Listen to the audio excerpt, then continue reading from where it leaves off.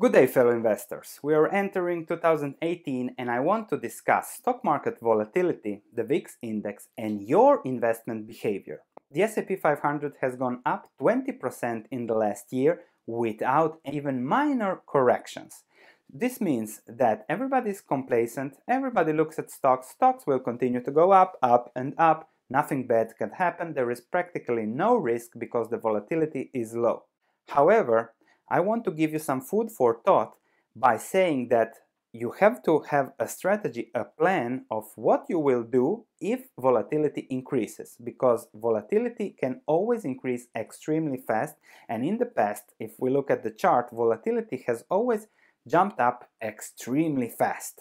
We can see here in the long-term chart from 2007, 2009, we had really spike in volatility. 2012, another huge spike. End of 2015, huge spike. It goes extremely, extremely fast. In the past, also, gradual increases in volatility have been very, very rare. However, gradual declines in volatility are very, very common. You can see that volatility slowly, slowly usually declines because investors become complacent. But as risks come without a warning, volatility really spikes up in no time. So my message is that you have to have a strategy. What will you do when volatility happens? Because usually higher volatility leads to negative returns. If we look at this chart that shows how a change in volatility affects S&P 500 returns, you can see that lower volatility leads to higher S&P 500 returns, what you have been enjoying in 2017 with the S&P 500 20% higher.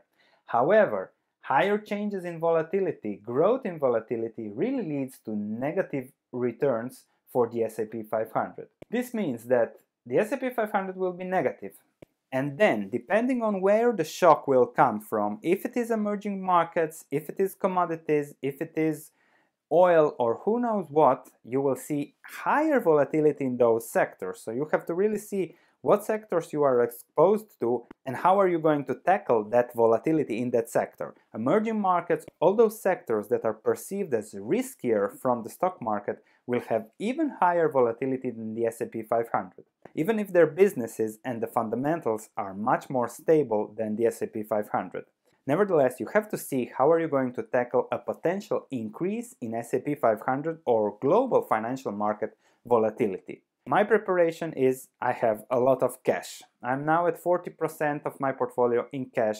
Everything is everything that I own is pretty much uncorrelated to what the market does. Therefore, I severely underperformed the S&P 500 in 2017, but that's the strategy I have accepted all along. I hope really, as I did in the past, to really outperform the market in the long term.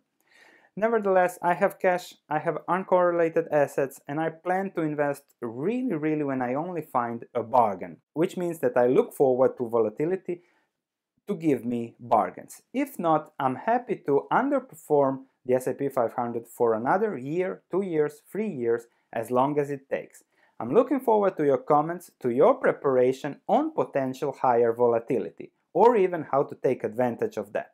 Thank you for watching. Click like, subscribe if you haven't to the channel. It would mean a lot for channel support and to motivate me to do even better videos. I'll see you in the next video.